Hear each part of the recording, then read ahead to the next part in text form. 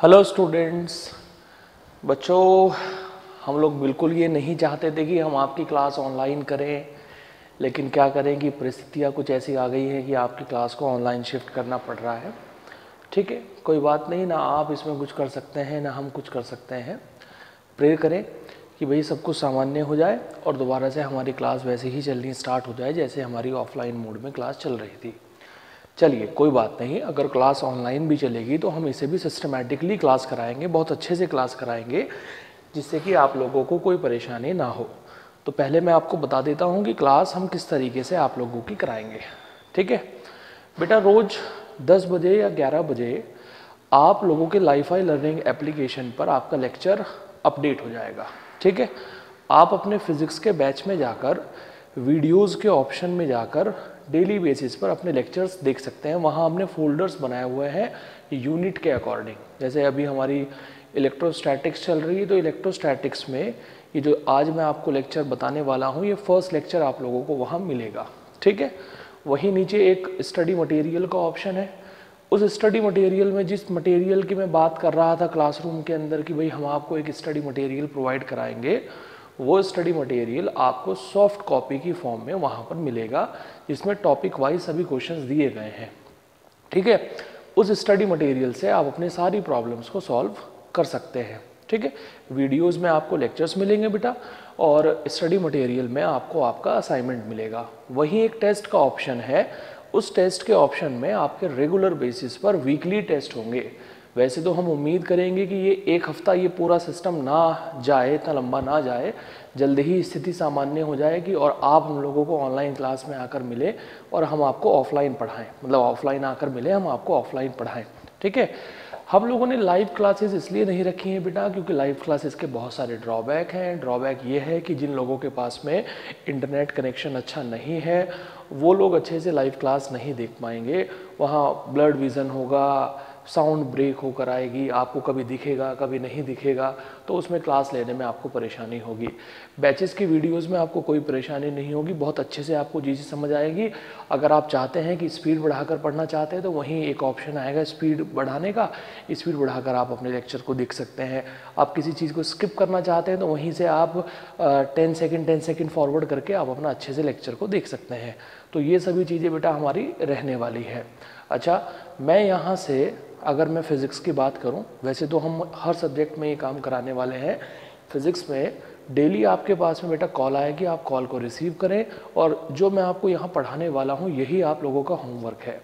ये होमवर्क आपको अपनी होमवर्क कॉपी के अंदर भी करना है क्लास वर्क कॉपी में भी करना है। यानी क्लास वर्क कॉपी में तो आप अपने नोट्स बनाएँगे होमवर्क कॉपी में भी आपको ये काम करना है।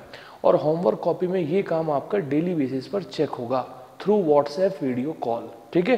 तो अपने काम को पूरी तरीके से कंप्लीट रखें। लापरवाही की कोई गुंजाइश नहीं है। बिल्कुल लापरवाही ना करें। सैटरडे आप लोगों का टेस्ट होगा और बहुत अच्छे तरीके से हम क्लास को लेकर चलेंगे। सभी चीज़ों को वैसे ही एक्सप्लेन करेंगे जैसे हम आपको एक्सप्लेन कर रहे थे।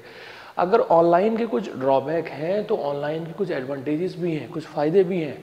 फ़ायदे ये हैं कि भाई ऑफलाइन में जो क्लास आपने एक बार देख ली, उसे आप दोबारा नहीं देख पाएँगे। लेकिन यहाँ क्या है कि आप एक क्लास को कितनी भी बार देख सकते हैं। मान लीजिए कि कोई टॉपिक आपका वीक रह गया, उसे आप दोबारा से देखना चाहते हैं, दोबारा से पढ़ना चाहते हैं तो बड़े आराम से आप अपने लेक्चर्स में जाकर उन टॉपिक्स को दोबारा से देख सकते हैं। ठीक है? तो लाइफाई लर्निंग एप्लीकेशन पर बहुत सिस्टमेटिकली तरीके से, बहुत अच्छे तरीके से आप लोगों की क्लास चलेगी। आप अपनी क्लास को एंजॉय करें, अपने नोट्स को प्रॉपरली प्रिपेयर करें, अपने स्टडी मटेरियल के क्वेश्चंस को सॉल्व करें और जो भी आपके डाउट्स आते हैं, जब आपको डेली बेसिस पर कॉल की जाएगी तो अपने डाउट्स को आप सॉल्व करें। ठीक है? ओके चलिए अभी हम अपनी क्लास स्टार्ट करते हैं। तो बेटा लास्ट में जहाँ हमने अपने टॉपिक को छोड़ा था, वो था state the limitation of Coulomb's law यानी एक छोटा सा क्वेश्चन हमारे सामने ये आता है कि भाई कुलम्स लॉ की लिमिटेशन क्या है? यानी कुलम्स लॉ कहाँ जाकर फेल हो जाता है? हमने कुलम्स लॉ पढ़ा सभी लोगों ने। आपने देखा कुलम्स लॉ क्या होता है? कुलम्स लॉ है दो चार्जेस के बीच में फोर्स निकालने का फॉर्मूला जिसकी वैल्यू है हमारे पास में बेटा ये। दो चार्जेस के बीच में फोर्स निकालने के लिए हम कुलम्स लॉ का यूज़ करेंगे और इसकी वैल्यू है हमारे पास में ये one upon four pi epsilon naught Q one into Q two upon R square. ये जो कुलम्स लॉ है, ये कहाँ जाकर फेल हो जाएगा? तो सबसे पहली लिमिटेशन कुलम्स लॉ के लिए ये है बेटा, कि जब भी दो चार्ज बॉडी मोशन करना स्टार्ट कर देती है, जब भी दो चार्ज बॉडी मोशन करना स्टार्ट कर देती है, और उनके जो बीच का गैप है, मान लीजिए कि दो चार्ज बॉडी हैं वो कुछ इस तरीके से मोशन कर रही हैं कि उनके बीच का जो गैप है, वो लगातार तरीके से बढ़ रहा है लाइक like दिस दो चार्ज बॉडी हैं, वो एक दूसरे से पीछे की तरफ़ मूव कर रही है। अगर वो एक दूसरे से पीछे की तरफ़ मूव करेंगी तो उनके जो बीच का गैप है, वो धीरे धीरे धीरे धीरे बढ़ता जाएगा। यानी जब भी चार्ज बॉडीज मोशन करेंगी, जब भी चार्ज बॉडीज मोशन करेंगी, तभी आपका कूलम स्लो हो जाएगा फेल यानी कूलम स्लो आपका काम नहीं करेगा। सबसे पहली लिमिटेशन तो ये है हमारे पास में। दूसरी लिमिटेशन हमारे पास में यह है कि कुलम्स लॉ सिर्फ़ पॉइंट चार्जेस के लिए ही पॉसिबल है। यानी जो चार्ज बहुत छोटे होते हैं, जो चार्ज बहुत छोटे होते हैं पॉइंट चार्ज जो होते हैं कोलम्स लॉ सिर्फ़ उन्हीं के लिए काम करेगा जो बड़ी बॉडीज़ होती हैं, बहुत बड़ी बड़ी बॉडीज़ होती हैं, उनके लिए कोलम्स लॉ काम नहीं करता है। यानी लार्ज स्केल पर कोलम्स लॉ फेल हो जाता है।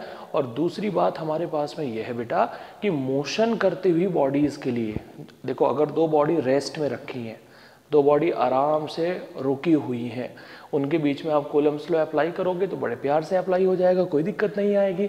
लेकिन अगर उन्हीं दो बॉडीज़ ने मोशन करना स्टार्ट कर दिया लाइक like दिस दोनों एक दूसरे से दूर जा रही हैं, दोनों एक दूसरे के पास आ रही हैं, उस कंडीशन में कूलम स्लो काम नहीं करेगा।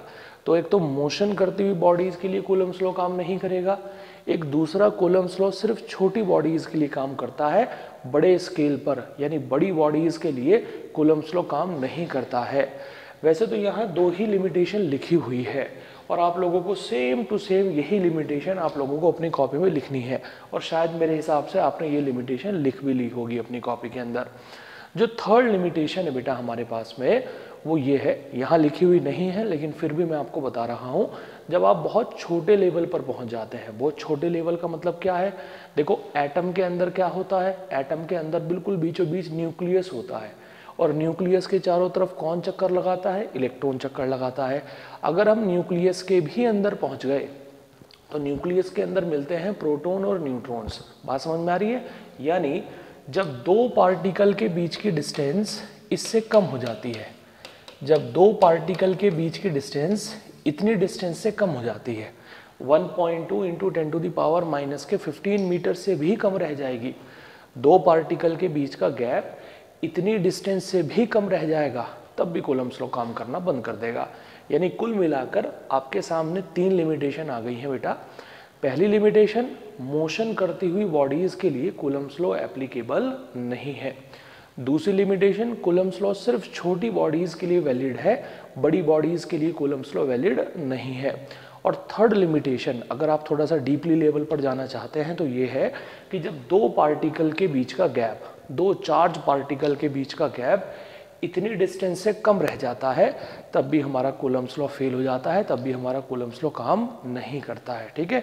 अब जिस बच्चे ने ये थियोरी नहीं लिखी है, अपनी कॉपी के अंदर नोट्स बनाकर state the limitation of Coulomb's law in electrostatics पहले क्वेश्चन लिख लीजिए और उसके नीचे ये आप आंसर लिख लीजिए बेटा। जल्दी से करिए, फिर हम लोग आगे बढ़ेंगे।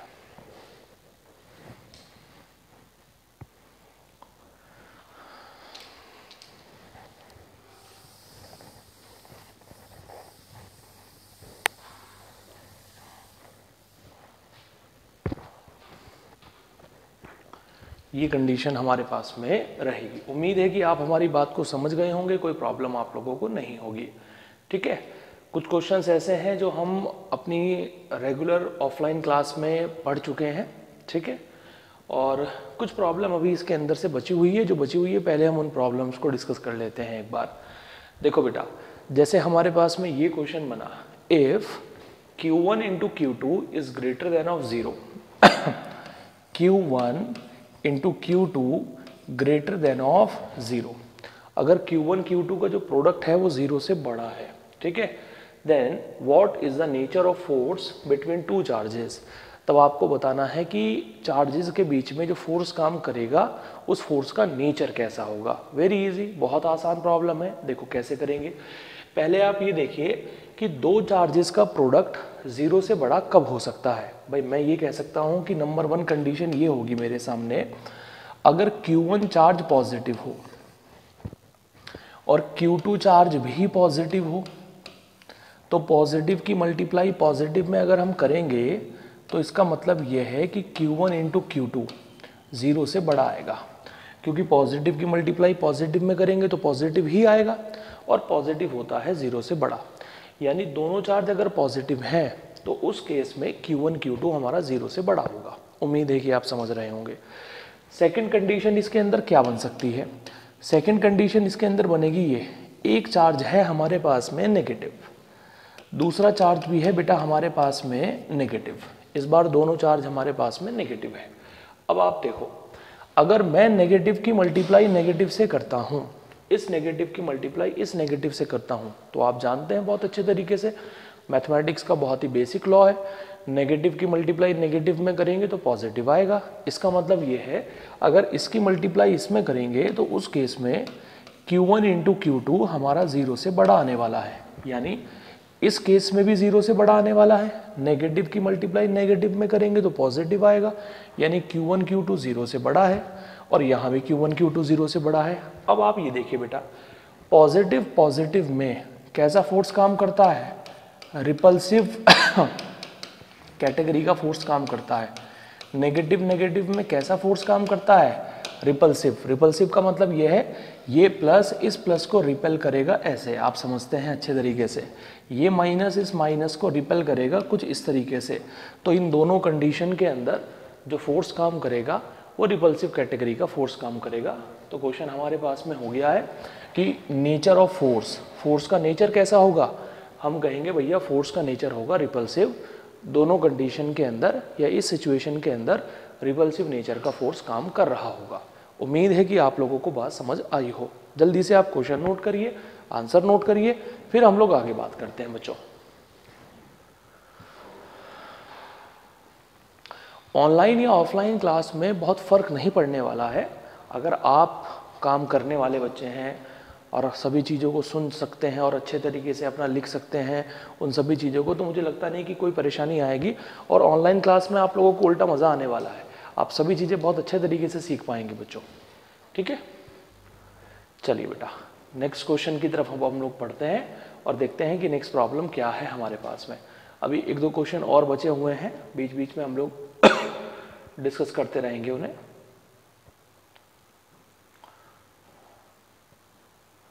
देखो बेटा, ये है हमारे पास में नेक्स्ट क्वेश्चन क्या है प्रॉब्लम आप लोग ज़रा देखें ध्यान से बिल्कुल। द इलेक्ट्रोस्टैटिक फोर्स सबसे पहला काम फिजिक्स के अंदर। फिजिक्स समझ क्यों नहीं आती है? क्योंकि हम उसके क्वेश्चन को ध्यान से नहीं पढ़ते हैं। सबसे पहला काम है कि 15 टू 20 सेकंड 15 से 20 सेकंड क्वेश्चन को बहुत ध्यान से पढ़ना है। और बहुत ध्यान से पढ़कर उन सारी वैल्यूज़ को निकाल कर एक तरफ़ रख देना है जो हमें क्वेश्चन से मिल रही है। और फिर देखो कि इसमें कैलकुलेट क्या करना है। तभी आप क्वेश्चन को अच्छे तरीके से सॉल्व कर पाओगे बेटा। देखो the electrostatic force on a small sphere of charge 0.4 microcoulomb due to another small sphere of charge minus के 0.8 microcoulomb in air is 0.2 newton very easy बहुत आसान प्रॉब्लम है। हमें कुछ ऐसा कहा गया है कि एक चार्ज है अपने पास में 0.4 माइक्रोकुलम। ओके बेटा? दूसरा चार्ज हमारे पास में यहाँ है और दूसरा चार्ज है हमारे पास में माइनस 0.8 माइक्रोकुलम। और इनके जो बीच में फोर्स काम कर रहा है तो सबसे पहले आप ये समझिए कि ये चार्ज है पॉजिटिव और ये चार्ज है नेगेटिव। प्लस और माइनस में अट्रैक्शन काम करेगा और इनके बीच में जो फोर्स काम कर रहा है, उसकी वैल्यू है 0.2 न्यूटन।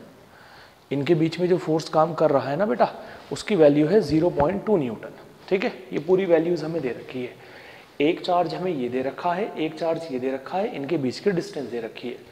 नंबर वन पॉइंट हम लोगों से पूछा है what is the distance between two sphere यानी आर बताना है कितना होगा। इनके बीच की डिस्टेंस कितनी होगी? और ये पूरा काम एयर में परफॉर्म हो रहा है।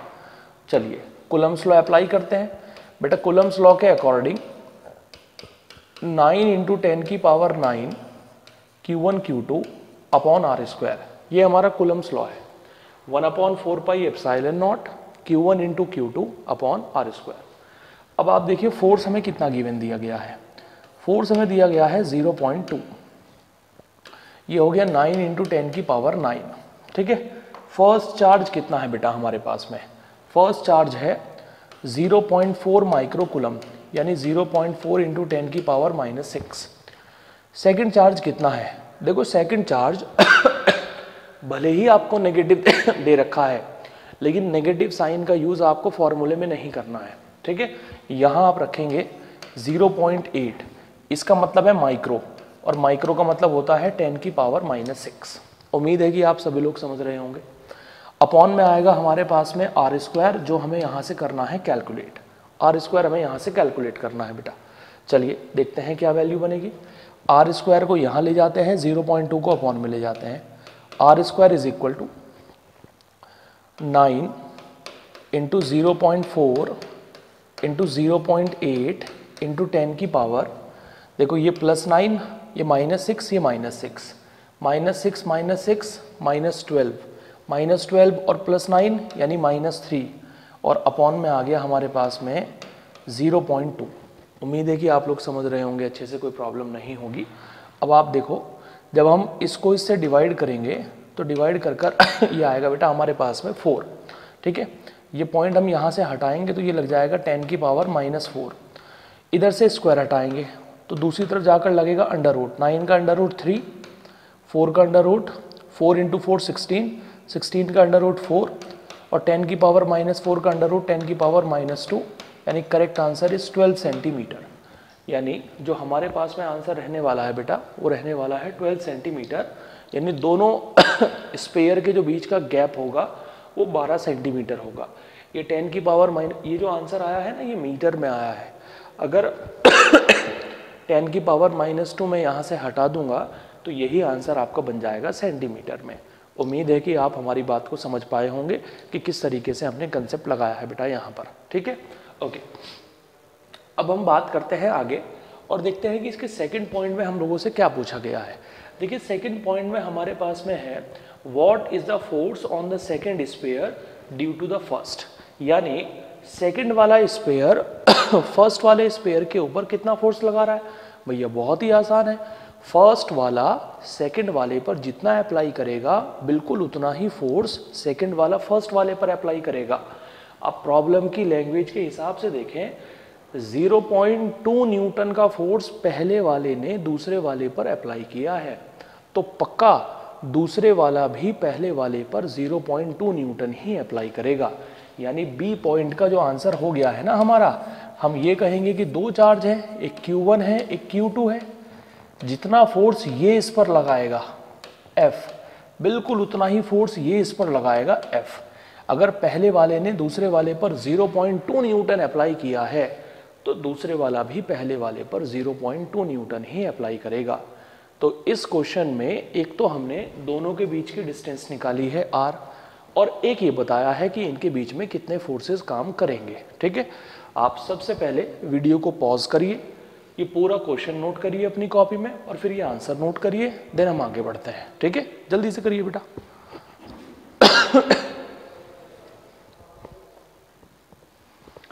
ओके सो उम्मीद है बेटा कि आप लोगों ने कर लिया होगा सॉल्व अब हम बढ़ते हैं आगे की तरफ़ और देखते हैं कि नेक्स्ट क्वेश्चन क्या होगा हमारे पास में। मैंने आपसे कहा था कि मैं 15 यानी 15-16 क्वेश्चन आपको कराऊँगा। और इन 15 क्वेश्चन को करने के बाद में आपको कोई डाउट नहीं रहेगा कुलम्स लॉ में। आपके सभी डाउट दूर जाएँगे बहुत अच्छे तरीके से। आप कुलम लॉ की हर प्रॉब्लम को बना पाएँगे, हर एक प्रॉब्लम को। देखो नेक्स्ट क्वेश्चन है हमारे पास में ये बेटा। नेक्स्ट क्वेश्चन हमारे पास में ये है। देखिए प्रॉब्लम क्या है? Check that the ratio K E square G M E M P is the dimensionless look a table of physical constant and determine the value of this ratio what does the ratio signify तीन बातें हमें इस question के अंदर बतानी है। एक तो हमें प्रूव करके बताना है कि ये जो वैल्यू है ना आपके सामने बेटा, ये डायमेंशन लेस है डायमेंशन लेस कोई डायमेंशन नहीं है इसकी। फिर हमें इसकी वैल्यू बतानी है कितनी होगी, और फिर ये बताना है कि ये वैल्यू क्या रिप्रेजेंट करेगी। ठीक है? आइए देखते हैं कि किस तरीके से हम आंसर निकालेंगे। देखो बेटा फ़र्स्ट ऑफ़ ऑल सबसे पहले है हमारे पास में इलेक्ट्रॉन यानी माइनस ई यहाँ है हमारे पास में प्रोटोन ये है प्लस ई e, और ये है इनके बीच का गैप इसे हमने नाम दिया है आर अब देखो होगा क्या। ये जो माइनस ई e है ये अट्रैक्ट होगा प्लस ई e की तरफ़। समझ आ रही है बात? और ये जो प्लस ई है ये अट्रैक्ट होगा माइनस ई की तरफ़। और इनके जो बीच में फोर्स काम करेगा वो होगा electrostatic force minus E plus E की तरफ़ जाएगा, प्लस ई माइनस की तरफ़ जाएगा कुलम्स लॉ के अकॉर्डिंग, और इनके बीच में इतना फोर्स काम करेगा। और इस फोर्स की वैल्यू होगी बेटा, मैंने one upon four pi epsilon naught को के मान लिया है। One upon four pi epsilon naught को हमने के लेट कर दिया है। यहाँ के का मतलब डायलैक्ट्रिक कांस्टेंट से नहीं है बच्चों। यहाँ हमने one upon four pi epsilon naught को के माना है।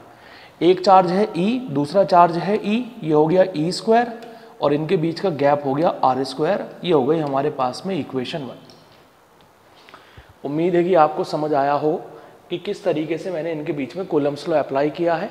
Capital K E square upon R square इतना इलेक्ट्रोस्टैटिक फोर्स इनके बीच में काम करने वाला है. उम्मीद है कि आपको समझ आई होगी बात. अच्छा एक बात बताइए आप मुझे. मैंने इनके बीच में इलेक्ट्रोस्टैटिक फोर्स तो निकाल दिया. थोड़ा सा इलेवेंथ का कॉन्सेप्ट लगेगा। वैसे तो आप बहुत होशियार बच्चे हैं सभी के सभी, समझ जाएँगे अच्छे तरीके से, लेकिन मैं बता भी देता हूँ आप लोगों को एक बार। बेटा इलेक्ट्रॉन का जो मास होता है, वो इतना होता है एम ई और प्रोटॉन का जो मास होता है, वो इतना होता है एम पी और इलेवेंथ क्लास में हम लोगों ने एक चैप्टर पढ़ा था, जिसका नाम था ग्रेविटेशन उस ग्रेविटेशन के चैप्टर के मुताबिक ये जो मास होते हैं ना मास ये हमेशा एक दूसरे को अट्रैक्ट करते हैं न्यूटन के लॉ के मुताबिक। मास के बीच में हमेशा अट्रैक्टिव फोर्स काम करता है। और उस ग्रेविटेशन के फोर्स की वैल्यू है हमारे पास में एफ़ जी और उस ग्रेविटेशनल फोर्स को निकालने का तरीका है कैपिटल जी एक पार्टिकल का मास है हमारे पास में एम ई दूसरे पार्टिकल का मास है हमारे पास में एम पी और नीचे हो गया आर स्क्वायर ये हो गई इक्वेशन सेकेंड समझ आ रही बेटा बात? ये हो गया इलेक्ट्रिक फोर्स और ये हो गया ग्रेविटेशनल फोर्स ठीक है? अब हम एक काम करेंगे, हम दोनों इक्वेशंस को आपस में डिवाइड करेंगे। जब हम दोनों इक्वेशंस को आपस में डिवाइड करेंगे तो हमारे पास में बनेगा F E upon F G is equal to जब इसको इससे डिवाइड करेंगे तो ये आर स्क्वायर से ये आर स्क्वायर कैंसिल आउट हो जाएगा। आपके पास में बचेगा K E square upon G M E M P अब मुझे एक बात बताइए। बेटा, ये क्या लिखा हुआ है? फोर्स ये क्या लिखा हुआ है? फोर्स फोर्स की डायमेंशन से फोर्स की डायमेंशन कट जाएँगे कैंसिल आउट हो जाएगी। भाई फोर्स की डायमेंशन क्या होती है आपके पास में? M L T minus two नीचे भी क्या लिखा हुआ है? फोर्स इसकी डायमेंशन क्या होगी आपके पास में? M L T minus two ये भी फोर्स की डायमेंशन है, ये भी फोर्स की डायमेंशन है। अब फोर्स की डायमेंशन से फोर्स की डायमेंशन कैंसिल आउट हो गई और लीजिए प्रूव हो गया, जब ये कैंसिल आउट हो गई कि ये जो वैल्यू है आपके सामने, ये पूरी तरीके से डायमेंशन लेस है। यानी अगर मैंने फोर्स को फोर्स से कैंसिल आउट कर दिया डायमेंशन को डायमेंशन से कैंसिल आउट कर दिया तो ये जो सॉरी ये जो वैल्यू आपके सामने आ रही है ये वैल्यू पूरी तरीके से डायमेंशन लेस है। ये वैल्यू आपके सामने डायमेंशन लेस होने वाली है। तो जो इस क्वेश्चन के अंदर फ़र्स्ट पार्ट हमसे पूछा गया था कि प्रूव करिए डायमेंशन लेस है, वो हमने प्रूव कर दिया है डायमेंशन लेस है। अब आते हैं इस क्वेश्चन के सेकेंड पार्ट पर। हमें इसकी वैल्यू निकालनी है। देखो कैसे निकालेंगे वैल्यू ये जो के दिख रहा है ना बेटा आप लोगों को, इस के का मतलब है one upon four pi epsilon naught यानी नाइन इंटू टेन की पावर नाइन मैं कह रहा हूँ कि यहाँ के का मतलब डायलेक्ट्रिक कांस्टेंट से नहीं है। यहाँ के का मतलब one upon four pi epsilon naught से है। तो हम के की जगह रख देंगे नाइन इंटू टेन की पावर नाइन उम्मीद है कि आप मेरी बात को समझ रहे होंगे। अच्छा ये स्मॉल ई e, इसकी वैल्यू है 1.6 पॉइंट सिक्स इंटू टेन की पावर माइनस के 19 का होल स्क्वायर अच्छा उसके नीचे है capital G capital G constant होता है उसकी वैल्यू है 6.67 point six seven into ten की पावर माइनस इलेवन। अच्छा एम ई e, यानी इलेक्ट्रॉन का मास उसकी वैल्यू है 9 इंटू टेन की पावर माइनस थर्टी वन। अच्छा उसके बाद में एम पी यानी प्रोटोन का मास इसकी वैल्यू है 1.67 point six seven into ten की पावर माइनस के 27 जब आप इस पूरी वैल्यू को सॉल्व करेंगे ना तो सेकंड पार्ट में जो हमसे पूछा गया था कि इसकी वैल्यू बताइए क्या होगी वो वैल्यू आप यहाँ से बता देंगे। समझ में आ रही बात? अब थर्ड पार्ट में हमसे ये पूछा है, सिर्फ़ कैलकुलेशन है बेटा आप लोगों के लिए। और ऐसी ऐसी कैलकुलेशन तो तुम्हें बहुत सारी, लाखों करनी पड़ेंगी अभी ऐसी ऐसी कैलकुलेशन तो। तो ऐसी कैलकुलेशन से डरना बिल्कुल नहीं है, आप सॉल्व करेंगे बिल्कुल आराम से। मैंने सभी वैल्यूज़ को आपके सामने लिख दिया है। अब फाइनली आपसे ये पूछा है कि ये बताइए कि ये जो वैल्यू यहाँ से निकल कर आएगी, ये क्या सिग्निफाई करेगी? यानी किस चीज़ को शो करेगी? तो बेटा ये इस बात को शो करेगी कि इलेक्ट्रिक फोर्स जो होता है, वो ग्रेविटेशन फोर्स के कंपैरिजन में बहुत ज़्यादा होता है। इस बात को शो करेगी। Electric force great greater than of gravitational force जो इलेक्ट्रिक फोर्स की वैल्यू होगी, वो ग्रेविटेशनल फोर्स के कंपैरिजन में कहीं ज़्यादा होगी। ठीक है? तो फ़र्स्ट पार्ट में हमने प्रूव कर दिया कि डायमेंशन लेस है, क्योंकि ऊपर भी फोर्स है और नीचे भी फोर्स है कैंसिल आउट हो जाएगा। सेकेंड पार्ट में हमने इसकी वैल्यू निकाल कर दिखा दी और थर्ड पार्ट में हमने यहाँ बता दिया कि इलेक्ट्रिक फोर्स ग्रेविटेशनल फोर्स से ज़्यादा होने वाला है। उम्मीद है कि आपको बात समझ आई हो। सबसे पहले आप क्वेश्चन नोट करिए और नोट करके फिर इसका आंसर बनाइए। बड़ा अच्छा क्वेश्चन है बच्चों।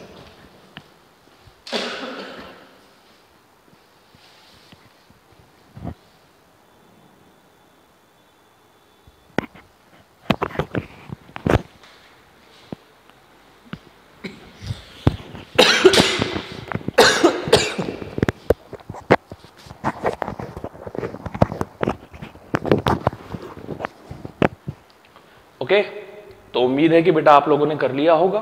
प्रॉब्लम आप लोगों को नहीं होगी। ये क्वेश्चन तो हम पहले ही सॉल्व कर चुके हैं। कोई प्रॉब्लम नहीं है। ये क्वेश्चन भी हम सॉल्व कर चुके हैं कि लाइक बॉडीज एक दूसरे को अट्रैक्ट करती हैं। ये क्वेश्चन भी हम सॉल्व कर चुके हैं और ये क्वेश्चन भी हमने सॉल्व कर लिया है। अब आते हैं बेटा हम यहाँ पर। ठीक है? देखिए प्रॉब्लम क्या है। मतलब अब लेवल ना हल्का सा राइज हो गया है। अब लेवल हल्का सा बढ़ गया है। आपको चीज़ों पर और अच्छे तरीके से ध्यान देना पड़ेगा। अगर आप क्वेश्चंस बनाना चाहते हैं तो। सबसे पहले अपनी कॉपी में आप क्वेश्चन लिख लें। उसके बाद हम सॉल्व करना स्टार्ट करते हैं। देखिए प्रॉब्लम क्या है बेटा? प्रॉब्लम ये है two particle each having a mass of five gram and charge ten की पावर माइनस के सेवन कुलम हमने आपके सामने दो पार्टिकल बना दिए बेटा। इस पार्टिकल का मास भी है फाइव ग्राम और इस पार्टिकल का मास भी है फाइव ग्राम ठीक है? इस पार्टिकल का जो चार्ज है अपने पास में, वो है टेन की पावर माइनस के सेवन कुलम वो भी प्लस में, ठीक है? और इस पार्टिकल का चार्ज है प्लस टेन की पावर माइनस के सेवन कुलम उम्मीद है कि आप लोग समझ रहे हो। Stay in limiting equilibrium limiting equilibrium का मतलब मैं आपको अभी समझाऊँगा क्या होता है। ध्यान से जरा, ठीक है? On a horizontal table with a separation of 10 centimetre with a separation of 10 centimetre का मतलब ये है कि इनके जो बीच का गैप है, वो ये 10 सेंटीमीटर है। ये गैप इनके बीच का 10 सेंटीमीटर है। ठीक है? Between them the coefficient of friction between each particle and the table is the same find mu अच्छा पहले मुझे ये बताओ, अगर इस पर भी पॉजिटिव चार्ज है, यहाँ पर दिख रहा होगा आपको, और इस पर भी पॉजिटिव चार्ज है। तो ये दोनों पॉजिटिव एक दूसरे को क्या करेंगे? रिपेल करेंगे। ये बॉडी इधर जाना चाहेगी और ये बॉडी इधर जाना चाहेगी और इनके बीच में इधर जो फोर्स काम करेगा वो भी एफ़ होगा और इधर जो फोर्स काम करेगा वो भी एफ़ होगा। अगर दोनों बॉडी पर पॉजिटिव चार्ज है तो दोनों बॉडी एक दूसरे से दूर जाना चाहेंगी ऐसे। दोनों बॉडी एक दूसरे से दूर जाना चाहेंगी। बात समझ में आ रही है आप लोगों को? बिल्कुल ध्यान से बात सुनिएगा। रिपल्शन की वजह से दोनों बॉडी एक दूसरे से दूर जाना चाहेंगी। अब आप एक काम करिए बेटा, आप इन दोनों बॉडीज में से कोई भी एक बॉडी पकड़ लीजिए। मैंने ये वाली बॉडी पकड़ ली इनमें से, ठीक है? अच्छा मुझे ये बताइए, ये वाली बॉडी कहाँ जाना चाहेगी? ये वाली बॉडी इधर जाना चाहेगी। अगर ये बॉडी इधर जाना चाहेगी तो किसी भी बॉडी के मोशन को रोकने के लिए बॉडी जिधर जाना चाहती है, उसकी अपोजिट डायरेक्शन में फ्रिक्शन काम करता है। अगर ये बॉडी इधर जाना चाहेगी तो इस बॉडी पर फ्रिक्शन काम करेगा अपोजिट डायरेक्शन में। उम्मीद है कि आप लोग समझ रहे होंगे। अगर रिपल्शन की वजह से ये बॉडी इधर जाना चाहेगी तो इस पर फ्रिक्शन काम करेगा इधर। और अगर ये बॉडी इधर जाना चाहेगी तो इस पर फ्रिक्शन काम करेगा इधर। ये, ऐसे, इस तरीके से फ्रिक्शन काम करेगा। दोनों बॉडी एक साथ लेने की कोई ज़रूरत नहीं है, कोई भी एक बॉडी आप ले लीजिए। उम्मीद है कि आप मेरी बात को समझ रहे होंगे।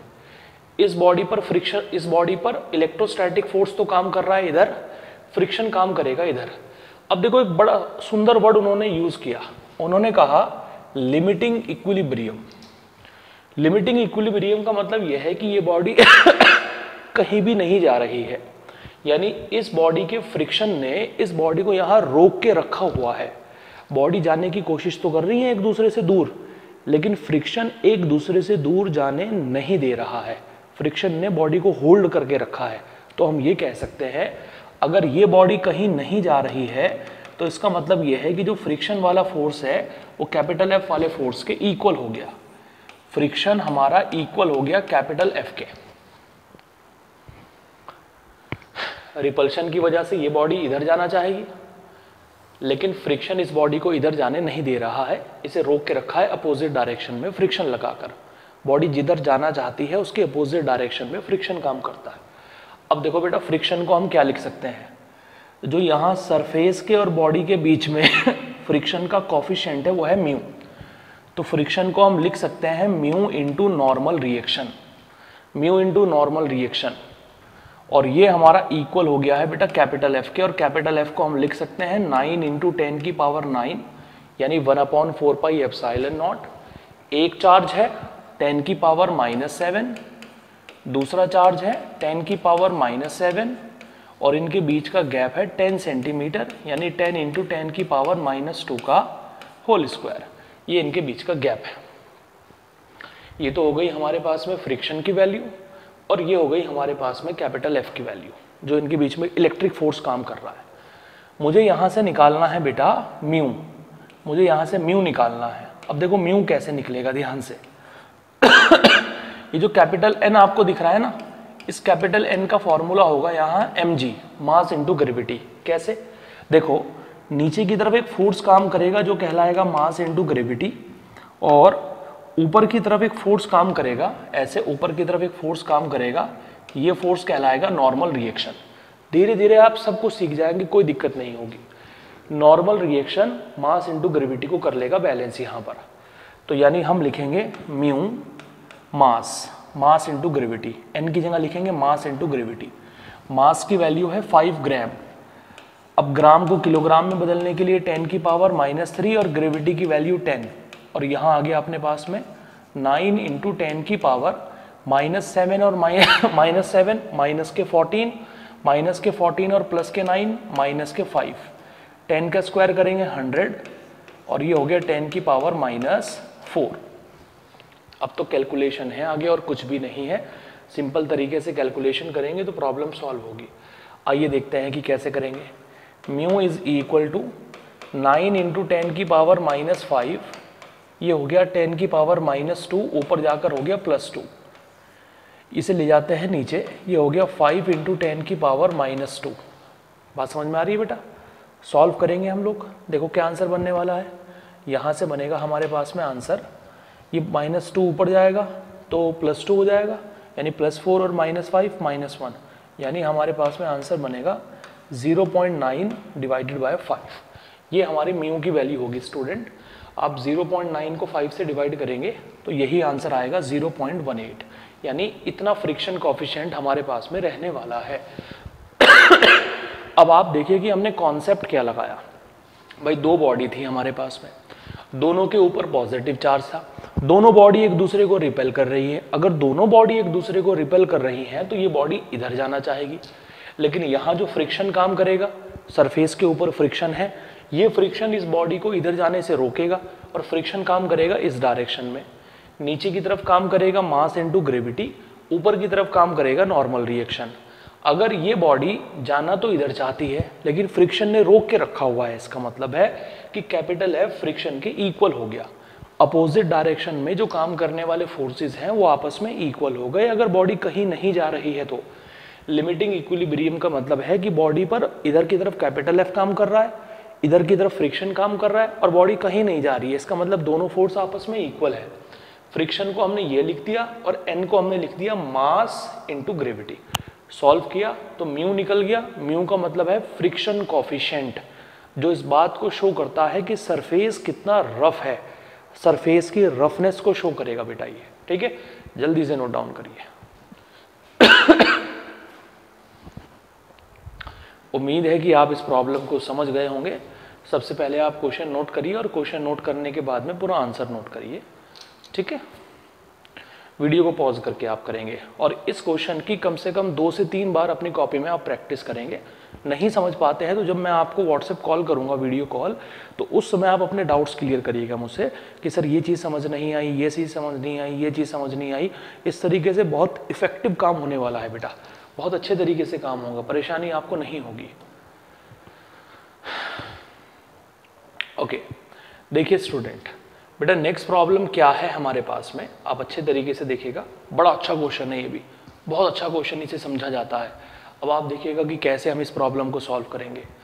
The force between two point charges placed in a medium at a distance of 9 centimetre from each other is 16 dyne अब देखो, जैसे ही मैंने क्वेश्चन को देखा तो मैंने देखा कि फोर्स की जो यूनिट मुझे दे रखी है, वो डाइन दे रखी है। फोर्स की जो यूनिट मुझे दे रखी है, वो डाइन दे रखी है। और फोर्स की जो यूनिट है, डाइन, वो सीजीएस यूनिट है। कौन सी यूनिट है? CGS unit. और आप याद रखेंगे बेटा सीजीएस यूनिट में one upon four pi epsilon naught की वैल्यू वन होती है। यह है कमाल की बात, सीखने वाली बात, जो हर बच्चे से नहीं आती है। ठीक है? यानी डाइन यहाँ पर है तो हम एकदम से समझ गए। फोर्स की यूनिट डाइन है, इसका मतलब सीजीएस यूनिट है। और सीजीएस यूनिट में one upon four pi epsilon naught की वैल्यू वन है। अब समझते हैं उसने क्या दे रखा है। The force between two point charges placed in a medium medium में रखा है। यानी दो चार्ज है हमारे पास में। एक चार्ज है Q1 दूसरा चार्ज है हमारे पास में Q2 इनके बीच का जो गैप है हमारे पास में वो है नाइन सेंटीमीटर बेटा समझ में आ रही बात? और यहाँ है मीडियम मीडियम का कांस्टेंट है के और इनके बीच में जो फोर्स काम कर रहा है वो है 16 डाइन। 16 डाइन। ये पहली कंडीशन है मेरे पास में। तो मैं कहूँगा कुलम्स लॉ के अकॉर्डिंग जो फोर्स काम करेगा वो इतना काम करेगा। One upon four pi epsilon naught k q one q two देखो एयर में नहीं है, इसीलिए मैंने के का यूज़ किया है। मीडियम में है, इसीलिए के का यूज़ किया है। अब आप देखो बेटा, फोर्स की वैल्यू हो गई 16 सीजीएस सिस्टम में इसकी वैल्यू होती है वन बिल्कुल ध्यान रखना, घबराना नहीं है, इसकी वैल्यू होती है वन सीजीएस सिस्टम में. साथ में हो गया हमारे पास में Q1 Q2 K की वैल्यू हमें पता नहीं है, R की वैल्यू है हमारे पास में 9 सेंटीमीटर सेंटीमीटर को यहाँ मीटर में बदलने की ज़रूरत नहीं है, क्योंकि CGS सिस्टम की बात हो रही है. CGS में C का मतलब सेंटीमीटर ही होता है. तो 9 ही आप रखेंगे और 9 का स्क्वायर हो जाएगा 81 ओके इसकी मल्टीप्लाई आप यहाँ करेंगे तो ये हो जाएगा 16 into eighty one is equal to q one into q two upon k ये हमारे पास में फ़र्स्ट सॉरी फ़र्स्ट इक्वेशन आ गई बेटा। ये हमारे पास में फ़र्स्ट इक्वेशन आ गई। उम्मीद है आप समझ रहे होंगे। या आप चाहो तो ऐसे लिख लो Q1 one into q two is equal to sixteen into eighty one multiply by k equation number first ठीक है? सही जगह पर सही फॉर्मूले का इस्तेमाल, सही वैल्यू का इस्तेमाल ही फिजिक्स है। हमने one upon four pi epsilon naught समझ गए सीजीएस सिस्टम की बात हो रही है तो वन है। मीडियम है तो के है। क्यू वन एक चार्ज हमने मान लिया है क्यू वन दूसरा क्यू टू और इनके बीच का गैप है हमारे पास में। कितना बेटा? नाइन और नाइन का स्क्वायर करेंगे तो ये हो गया हमारे पास में एटी वन तो पहली इक्वेशन हमारे पास में ये बन गई। अब उसने हमें क्या कह रखा है आगे? देखो, उसने हमें ये कहा on increasing one of the charge by 56 static coulomb ये भी सीजीएस यूनिट ही होती है। यानी एक चार्ज को हमने Q1 से बढ़ाकर Q1 वन प्लस फिफ्टी कर दिया। पहले जो चार्ज Q1 था ना, उसे हमने 56 स्टैटिक कुलम बढ़ा दिया और Q1 से बढ़ाकर हमने उसे कर दिया 50 Q1 वन प्लस फिफ्टी दूसरे चार्ज को हमने उतना ही रखा Q2 ठीक है? It is found that distance between the charges must be changed by 3 centimeter in order to keep the force between them same. यानी अभी भी इनके बीच में मीडियम है बेटा। मीडियम अभी भी है इनके बीच में। मीडियम का कांस्टेंट है के हमने क्या किया? हमने चार्ज को बढ़ाया। एक चार्ज को 56 बढ़ा दिया। और फोर्स को सेम रखने के लिए फोर्स को 16 डाइन ही रखने के लिए हमने इनके बीच के डिस्टेंस को तीन सेंटीमीटर चेंज कर दिया। पहले नाइन थी, अब 12 सेंटीमीटर कर दिया। प्रॉब्लम को सही तरीके से समझना ही फिजिक्स है।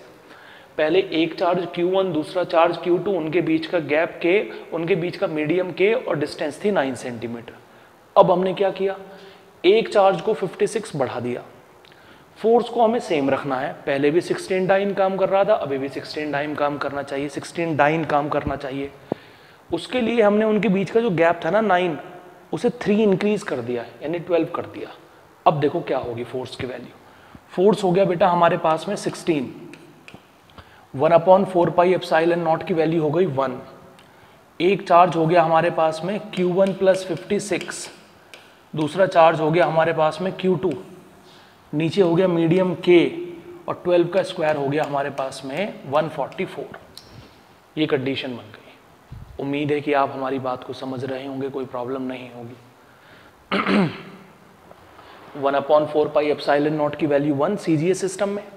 एक चार्ज इतना हो गया अब, दूसरा चार्ज जितना है अपॉन में के है, और 12 का स्क्वायर करेंगे 144 चलिए, देखते हैं आगे कैसे सॉल्व करेंगे। इनकी मल्टीप्लाई इस तरफ़ कर देते हैं तो ये हो जाएगा k into one forty four into sixteen is equal to Q1 की मल्टीप्लाई Q2 में करेंगे तो ये हो जाएगा Q1 Q2 प्लस ये हो जाएगा Q2 टू इंटू उम्मीद है कि आप हमारी बात को समझ पा रहे होंगे बेटा। अब आप ये देखो कि Q1 Q2 की वैल्यू क्या है हमारे पास में। हमने फ़र्स्ट इक्वेशन से Q1 Q2 की वैल्यू ये निकाल रखी है। यहाँ से ये वैल्यू उठाकर यहाँ पुट कर दो। तो ये हो गया हमारे पास में, देखो ध्यान से, ये हो गया अपने पास में 144 forty four into sixteen into k is equal to q one q two की जगह रखेंगे। 81 one into sixteen into k plus q two into fifty six अब मेरे पास में तो स्पेस नहीं बचा है बेटा। मैं उम्मीद करूँगा कि आप यहाँ से आगे से प्रॉब्लम सॉल्व कर लेंगे कैसे। इसको इक्वल टू से इधर लेकर जाएँगे। इसमें से इसे माइनस करेंगे। समझ में आ रही बात? 56 से डिवाइड करेंगे तो Q2 निकल जाएगा आप लोगों का। उस Q2 की वैल्यू यहाँ से उठाकर यहाँ रखेंगे तो यहाँ से Q1 आप लोगों को निकल जाएगा। Q2 भी निकल गया Q1 भी निकल गया, कि दोनों के बीच में जो चार्ज जो दोनों चार्जेस होने वाले हैं, वो इतने होने वाले हैं। इस वैल्यू को इक्वल टू से इधर लेकर जाइए, इसमें से इसे माइनस कर देंगे और 56 से डिवाइड कर देंगे तो आपका Q2 निकल जाएगा। और Q2 को उठाकर यहाँ पुट करेंगे तो Q1 निकल जाएगा। इस तरीके से दोनों चार्ज आपके कैलकुलेट हो जाएँगे Q1 भी और Q2 भी। मैं चाहूँगा कि इस प्रॉब्लम को आप कंप्लीट अपने आप करें और किस तरीके से मैंने क्वेश्चन सॉल्व किया है ध्यान रखें। स्टार्टिंग में दो चार्ज मीडियम के डिस्टेंस नाइन फॉर्मूला लगाया Q1 Q2 बन गया। अब अगले वाली कंडीशन को समझना ही थोड़ा मुश्किल है। उसने कहा कि एक चार्ज को हमने 56 बढ़ा दिया। यानी जो पहले Q1 था तो वो अब हो चुका है Q1 प्लस फिफ्टी दूसरा चार्ज Q2 ही रहा। उनके बीच का मीडियम के ही रहा और डिस्टेंस को हमने 9 से 12 कर दिया फोर्स को सेम रखने के लिए। पहले फोर्स 16 था, अभी भी फोर्स 16 है डिस्टेंस को 9 से 12 कर दिया। अब यहाँ इक्वेशन लगाई तो ये कंडीशन आ गई। Q1 Q2 की जगह रखेंगे ये वाली वैल्यू ये जो मैंने निकाली थी। यहाँ रखेंगे इक्वल टू से इधर लेकर जाएँगे 56 से डिवाइड करेंगे Q2 निकल जाएगा। और Q2 को यहाँ रखेंगे तो Q1 निकल जाएगा। ऐसे हम प्रॉब्लम सॉल्व करेंगे बेटा। तो आज की क्लास में हमने कुछ क्वेश्चंस आपको सॉल्व कराए हैं, जिन्हें आप लोगों को अपनी होमवर्क कॉपी के अंदर रिपीट करना है। क्लास वर्क कॉपी में तो करना ही करना है होमवर्क कॉपी में भी रिपीट करना है। ये सारे क्वेश्चंस आप लोगों के बेटा चेक किए जाएँगे, ठीक है? मैंने आपको समझा दिया है कि किस तरीके से आपकी ऑनलाइन क्लास चलेगी। इस तरीके से हम एक हफ़्ता दस दिन, जब भी ये सॉरी जब तक भी ये सिचुएशन रहती है, तब तक बिल्कुल आप लोगों की क्लास ऐसे ही चलने वाली है।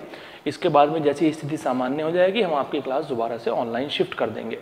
अच्छा अगर किसी बच्चे को फिर भी डाउट रहता है तो वो एक समय लेकर, पहले से टाइम लेकर यहाँ इंस्टीट्यूट पर आ सकता है अपने डाउट क्लियर करने के लिए। खाली फिजिक्स में ही नहीं केमिस्ट्री में मैथ्स में बायोलॉजी में, जिसमें भी उसे प्रॉब्लम आ रही है, पहले समय लेकर हमारे पास में आ जाए। हमारे जो टीचर हैं या जो हम हैं, वो उनके डाउट्स क्लियर कर देंगे। ठीक है बेटा? चलिए, अब आप लोगों से मिलेंगे नेक्स्ट क्लास के अंदर।